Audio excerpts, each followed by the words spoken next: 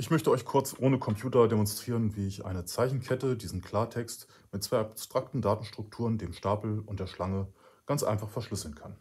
Dazu vielleicht kurz eine Erklärung, was ist ein Stapel? Beim Stapel ist das erste Element, was ich hineinpacke, hier unter dem zweiten, unter dem dritten und immer so weiter. Und das erste Element, was ich entnehme, ist das letzte, was ich hineingepackt habe. Also die 3 entnehme ich vor der 2 und die 1 entnehme ich zuletzt. Das heißt, last in, first out.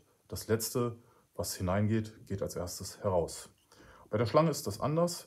Bei der Schlange, ähnlich wie beim Supermarkt, wer sich zuerst anstellt, geht nach vorne zur Schlange. Wer sich da hinten anstellt, rückt immer weiter auf und dann wird von vorne abgearbeitet. Also zuerst die erste Person, zweite Person, dritte Person, First in, First out.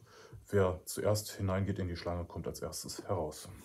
So, was möchte ich mit dem Klartext machen? Ich möchte jetzt Buchstabe für Buchstabe diese Zeichenkette auseinandernehmen und ich nehme abwechselnd ein Zeichen auf den Stapel und auf die Schlange.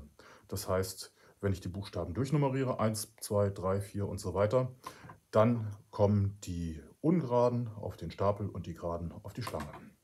Also das K in den Stapel, das L stellt sich an.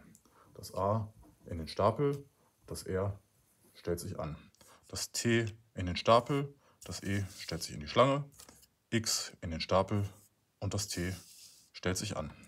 Und was ich jetzt mache ist, ich entnehme einfach wieder die Elemente aus dem Stapel und aus der Schlange und baue daraus einen neuen Text zusammen. Also erste Buchstabe ist das X, dann kommt nicht das T, sondern das L, weil ich ja die Schlange habe. Dann kommt das T aus dem Stapel und das R aus der Schlange, das A aus dem Stapel, das E aus der Schlange, das K aus dem Stapel und das T aus der Schlange. Und schon habe ich meinen Klartext schön durcheinander gewürfelt. Das nennt sich Transpositionschiffre. Die Buchstabenhäufigkeit ändert sich nichts. Ich habe ja nur die Position geändert.